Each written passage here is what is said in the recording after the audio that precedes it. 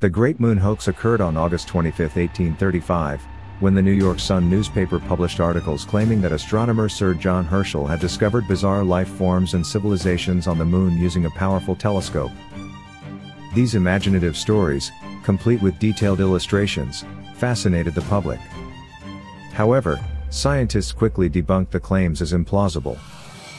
The hoax highlighted the media's influence and the public's fascination with sensational stories.